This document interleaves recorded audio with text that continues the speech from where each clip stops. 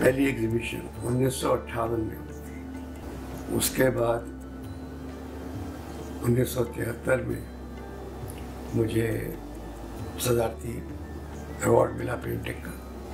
फिर तस्वीरें मैं हर तरह की बनाता था। एक मरतबा जियालब साहब ने मुझसे कहा कि आपकी तस्वीरें ऐवान सदर में। मैंने कहा, सर, मैं गरीब लड़कियों की तस्वीरें बनाता हूँ। तो कहने लगी तो बड़ा नेक काम करते हैं आप। फ़ौरन होना चाहिए आपकी तस्वीरें तो उन्होंने मुजीबर रहमान साहब से कहा, जो उस वक्त इंफॉर्मेशन के सरबराह थे कि भाई अनवर की तस्वीरें, ये गरीब लड़कियों की तस्वीरें बनाती हैं। अनवर की तस्वीरें होना चाहिए। मैंने कहा, सर, वो बहुत लड़की, गरीब लड़कियाँ हैं, बहुत गरीब हैं। बोले, क्या मतलब? मैंने कहा, उनके पास कपड़े भी नहीं है पहनने के। अच्छा फिर रहने दें, फिर रहने तो मैं समझ गया कि आप किस तरह की तस्वीरें बनाए